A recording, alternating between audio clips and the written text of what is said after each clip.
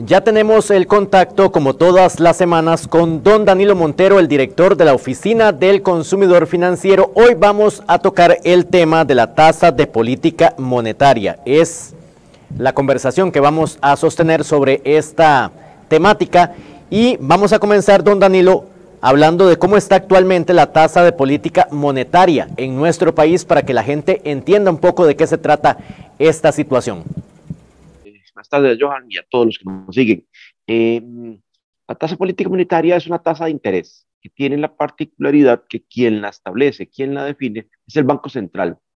Y eh, es como una banderilla, como una banderita que el Banco Central usa para eh, mandarle una señal a todo el sistema, a toda la economía costarricense, para decirles que mm, le parece que eh, las tasas de interés tienen que comenzar a subir o tienen que comenzar a, a bajar.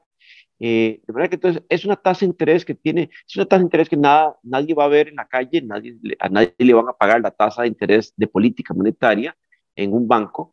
Es una tasa que es como, como un semáforo que el Banco Central utiliza.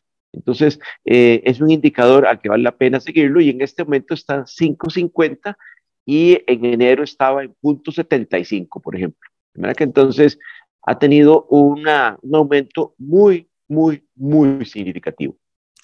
Y don Danilo, ¿qué está mm, influyendo? ¿Qué aspectos están influyendo, por ejemplo, para que la tasa tenga el registro actual?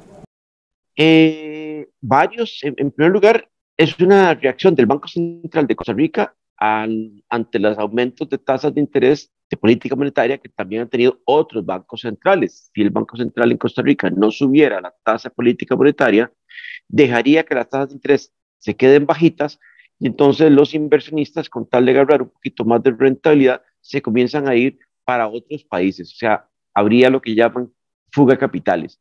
Y entonces es una forma de que el Banco Central logre que la gente se quede aquí. Y por otro lado, también es una forma de que la gente comience a ahorrar más a gastar menos y evitar el impulso que está teniendo la, la inflación. Muy bien, gracias a don Danilo Montero, director de la Oficina del Consumidor Financiero, que nos acompañó hablando sobre la tasa de política monetaria. Ojalá que le haya quedado claro este tema, que también es parte de la economía que vive nuestro país en la actualidad.